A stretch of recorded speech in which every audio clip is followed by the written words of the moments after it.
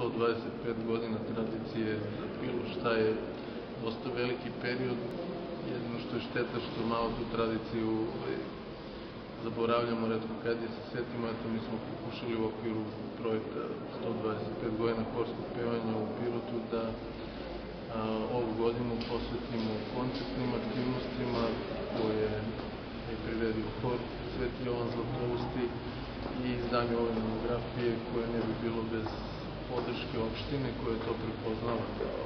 jedan kvalitetan projekat i finansirala štampanje ove knjige koja je jedan presek tog nekog istorijskog pregleda vezano za horsko pevanje koje kod nas u gradu počinje 1888. osnivanje pevačkog društva Momčilo koje je ujedno i najduže trajalo i pretvorilo se u jednu pravu kulturnu instituciju koja nije bila okrenuta samo horskom pevanju, nego se bavila i humanitarnim radom i organizovanjem različitih e, igranki, proslava, beseda, uopšte kulturnih aktivnosti, tako da je pevačko društvo Momčilo u svakom smislu postavilo temelje horskog pevanja i u okviru njega niz pojedinaca koji su tu istakli, pre svega čuveni Karlo Maćejka koji je bio i profesor u ovoj gimnaziji, inače češkog porekla, e, prvi obrazovani muzičar u Pirotu koji je skoro 15 godina na čelu pevačkog društva Momčilo i od njega napravio zaista jednu instituciju poštovanu do te mere da je e, to društvo, odnosno hor, učestvovao na svečanoj ceremoniji krunisanja kralja Petra Karadžorđevića 1904. a kasnije su bili odlikovani ordenom Svetog Save Petog Stepena, koji su to vreme dodeljivao za izuzetne zasluge na polju kulture i umetnosti, a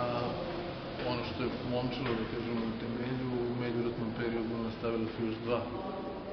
pevačka društva, Uspenije Presvete Bogorodice, osnovno 1919. i 1926. počelo sa radom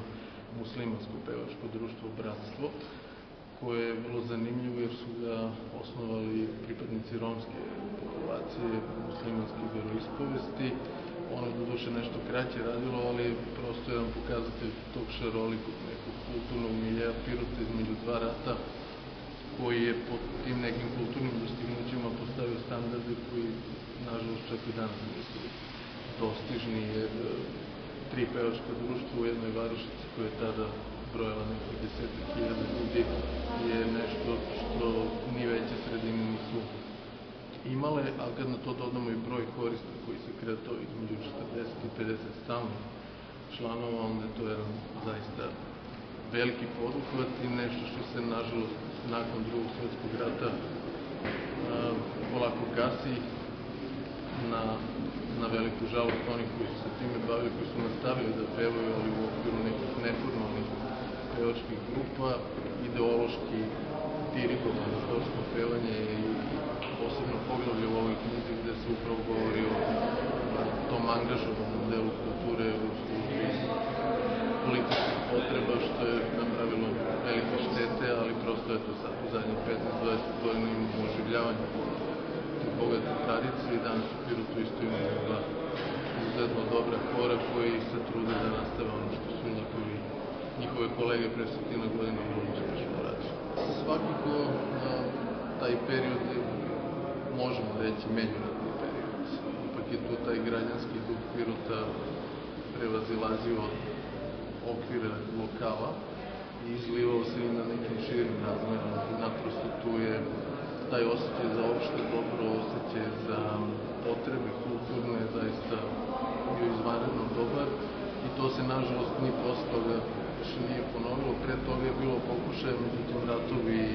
sa Turcima, osloboljenje od Turaka su to nekako seckali, isprekidali, tako da kontinuiteta